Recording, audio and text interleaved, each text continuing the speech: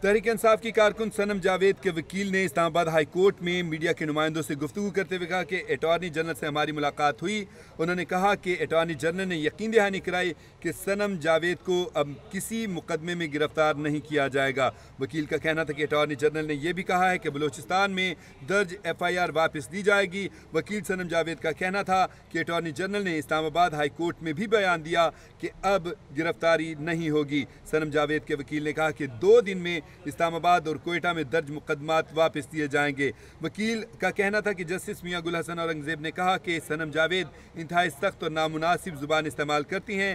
سنم جاوید کے وکیل نے کہا کہ میں نے سنم جاوید کی طرف سے عدالت سے معذرت کی، عدالت میں یقین دہانی کرائی کہ آئندہ احتیاط کی جائے گی۔ جنہوں نے کینڈلی جو ہے وہ یہ فیکٹ ڈسکلوز کیا اور اس پہ پھر یہ بھی طے پایا کہ وہ ایف آئی آر بھی جو کوئی بھی وہ ایف آئی آر ہے، جو بھی اس کی نوعیت ہے، اس ایف آئی آر کو بھی فل فور خارج کیا جائے گا۔ سو اور جو بلوچستان کی ایف آئی آر ہے، جس میں آج مجسٹیریل کورٹ میں جو انویسٹیگیشن آفیسر آئے ہیں، اس کیس میں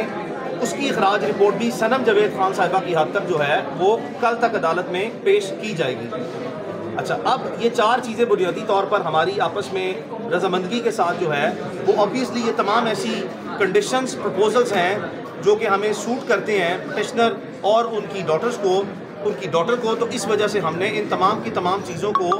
آپس میں بامی مشاورت کے ساتھ جو ہے، وہ سوچنے کے بعد اور فیملی کی رضامندگی کے ساتھ جو ہے، وہ ان کے ساتھ یہ چیزوں کو طے کیا۔ اور پھر اس کے بعد ہم عدالت میں تقریباً دس سے پندرہ منٹ کے وقفے سے روٹین میں جو عدالت نے اپنا کیس ٹیک اپ کیا، اس میں پھر یہی چیزیں جو ہیں، وہ آنریبل جسٹس میاں گلسن اورنگزیب صاحب نے جب ان کے کیس میں سماعت شروع ہوئی تو اٹارنی جنرل آف پاکستان نے سٹیٹمنٹ ایٹ بار دی ہے اے ونس اگین کہ سنم جاوید خان صاحبہ کو مزید دوبارہ کسی کیس میں ملک بھر میں گرفتار نہیں کیا جائے گا۔ تو عدالت نے جب واضح طور پر استفسار کیا کہ کیا یہ سٹیٹمنٹ آ رہی ہے اسٹیٹ آف پاکستان کی طرف سے۔ تو اٹارنی جنرل صاحب نے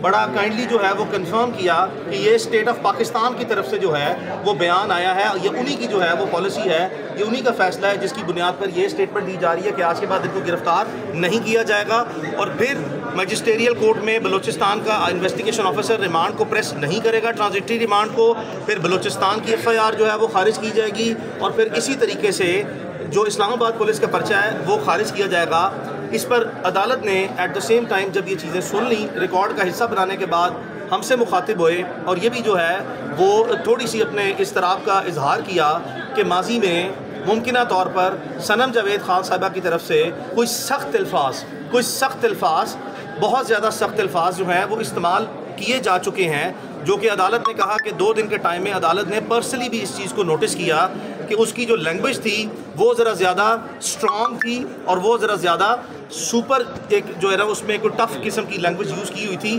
جس پر مجھ سے عدالت نے سوال کیا کہ ماضی میں تو یہ ہو چکا ہے، تو فیوچر میں اب لاسٹ دو دن میں جب عدالت نے پاس کیا تھا اور یہ کہا تھا کہ موجودہ کیس میں کسی قسم کا کوئی بیان جو ہے وہ درخواست گزار یا ان کی صاحبزادی سنم جوید خان صاحبہ نہیں دیں گی، تو اسی بنیاد پہ اب فیوچر میں آپ کیا کریں گے؟ تو میں نے عدالت سے سنم جاوید خان صاحبہ کی طرف سے